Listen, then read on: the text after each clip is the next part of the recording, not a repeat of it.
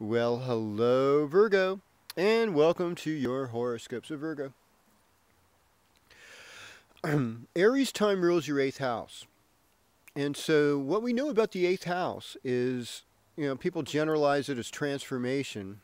I mean, boy, is that a loaded word. But what I would say is that it deals with birth, sex, and death things that we like to keep hidden in our culture. The other thing is, is other hidden stuff, hidden knowledge like occult knowledge. You don't think some of the largest corporations engage in occultic rituals to keep their power? Woo! They do. You know, they they cover all their bases.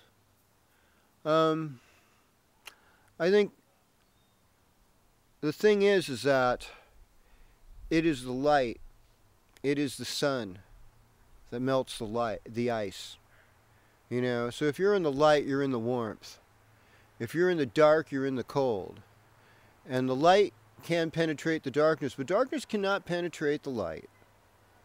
And the light is growing, and you're in a place of good fortune.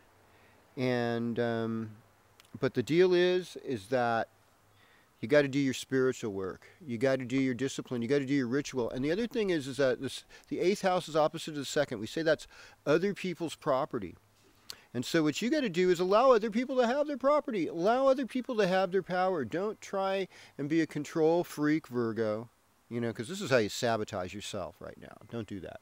But what I want you to do is allow them to have it. And then ask for help. I know you're so independent, you hate doing this, but ask for help because you know what? You bless other people when you allow them to bless you. So you got to take that, you know, and say, you know, I could really use a hand right now. All right, this would feel good.